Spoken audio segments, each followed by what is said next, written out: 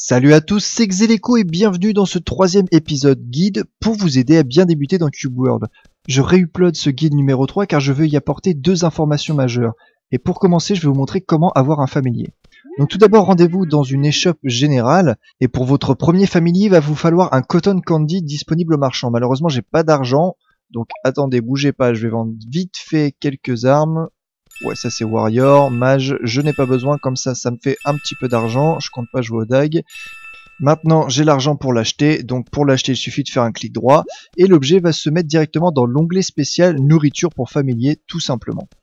Il y a du monde dehors, je sais pas ce qui se passe là. Peut-être une rayon de Super War, je sais pas. Bref, allons capturer notre premier familier, plutôt apprivoisé parce qu'on va pas lui lancer une Pokéball non plus. Premier changement, selon le numéro seed que vous avez mis lors de la création de votre monde Cube World, vous pouvez avoir un aliment différent du Cotton Candy. Si c'est le cas, regardez la liste dans la description de la vidéo pour savoir à quelle créature aux alentours du village appartient cet aliment. Là, on a de la chance puisqu'il s'agit d'une créature docile qui ne nous attaque pas, mais c'est pas toujours le cas. Donc, on ouvre son inventaire avec la touche I et on fait un clic droit sur le Cotton Candy. Le mouton va le manger, vous offrir son plus grand cœur. Voilà, maintenant, il est prêt à vous accompagner dans votre plus périlleuse aventure et il va lui en falloir du courage à ce petit mouton. Maintenant qu'il vous appartient, il ira partout où vous irez, fidèle comme une ombre, jusqu'à... Pardon. Et vous allez me dire, oui, mais si moi je veux pas de mouton comme premier familier, Comment je peux faire pour en avoir un autre? Eh bien, en tuant des monstres, vous allez avoir une chance de looter de la nourriture pour apprivoiser ces créatures qui sera disponible dans votre inventaire, toujours dans le même onglet.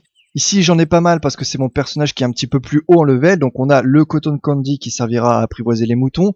Euh, la Candy's Apple, ce sera pour apprivoiser les chevaux. Et chaque nourriture correspond à un type de créature. Voilà, c'est pas compliqué. Alors comment faire? Eh bien, dans la description de la vidéo, je vais vous mettre la liste avec tous les ingrédients qui correspondent à chaque créature pour les apprivoiser. En vous mettant les sources, j'essaierai de le mettre à jour aussi régulièrement que possible, mais si c'est pas le cas, il vous suffira de cliquer sur le lien dans la description. Pour ce qui est de la nourriture, eh bien, elle est unique, c'est-à-dire que vous ne pouvez pas avoir deux cotton candy. Mais là, comme mon mouton est en cage et équipé, ça m'a permis d'avoir un deuxième cotton candy si je veux capturer un autre mouton. Et comme je vois que vous n'êtes pas très attentif à ce guide parce que vous êtes trop occupé à baver sur mon épée que j'ai modifié par mes soins, qualité épique, poignée modulable, entourée d'une double lanière en cuir de série, eh bien sachez que ce sera le thème de ma quatrième vidéo guide où on y verra la récolte, le craft, c'est-à-dire l'artisanat, et la modélisation de votre arme à l'aide de blocs. Bref, revenons à ce mouton, oui, ce petit mouton là avec ses yeux de mouton vous allez me demander, mais si je change mon familier, est-ce que je vais perdre mon mouton auquel je tiens tant et que j'adore? Eh bien rassurez-vous, vous, n'allez pas perdre votre mouton favori.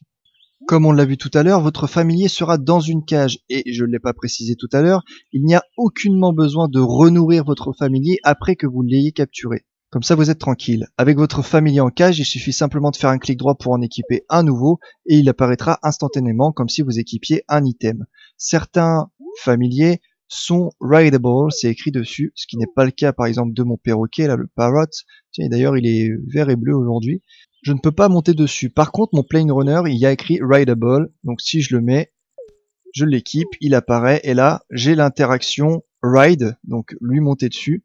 Deuxième changement, vous allez voir que quand je vais interagir avec la touche R avec mon plane runner qui s'appelle bip bip, ma vitesse va grandement augmenter. Et pour renommer son familier, appuyez sur la touche Entrée et tapez la commande slash namepet, espace et le nom que vous voulez mettre. Mais pour monter votre familier, cela n'est possible que si dans votre arbre de talent, vous mettez 5 points dans le talent Pet Master qui va également augmenter les points de vie de votre familier.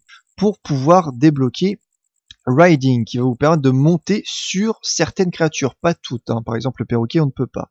Ici, avec la compétence niveau 10, on voit que ma vitesse de déplacement arrive à 150%, c'est-à-dire que je me déplace 50% plus rapidement. Dernière précision concernant les familiers, à gauche, en dessous de la barre de vie, vous avez des gouttes d'eau. Et quand vous n'en avez plus, vous ne pouvez plus monter sur le dos de votre familier, mais pas uniquement ce familier, vous ne pourrez plus monter sur le dos de tous vos familiers. La jauge est commune, il suffit alors de simplement revenir dans l'eau, et votre familier pourra étancher sa soif très rapidement. En ce qui concerne les autres capacités de déplacement, eh bien avec 5 points dans Climbing, ce qui va vous permettre de monter plus facilement les surfaces, et mettez-les parce que vous allez en avoir besoin à un certain moment, par exemple comme le temple aztèque que je viens de faire pour sortir du trou. Ça va vous débloquer un gliding qui va vous permettre d'utiliser un delta plane qui coûte 10 silver et que vous pourrez trouver à l'échoppe générale là où vous avez acheté votre cotton candy. N'oubliez pas de l'équiper à l'aide d'un clic droit dans votre case spéciale, sinon vous aurez un petit peu de mal à le déployer. Sortez-le grâce à l'aide de la touche G, vous pouvez courir avec sans problème, mais si vous rencontrez des obstacles, ça va vous stun et vous allez être étourdi par terre. Donc élancez-vous dans, le, dans les airs et c'est parti. Vous avez une barre de stamina qui apparaît en bas et si vous l'usez entièrement, eh bien votre delta plane va chuter drastiquement comme ceci. Mais la petite astuce, c'est d'utiliser une attaque avec le clic gauche juste avant de toucher le sol pour éviter le stun. Hop là, voilà. Attendez, quelques monstres, je m'en occupe, ne bougez pas, ça va pas être très très long. Parce que je suis un ninja Voilà, c'est terminé, c'est réglé, et ça tombe bien que je sois dans l'eau parce que je vais pouvoir vous parler de la seconde capacité. Alors je vais me mettre là parce que j'ai pied. La seconde capacité, pareil, on retourne dans l'arbre de talent. Hop, fail.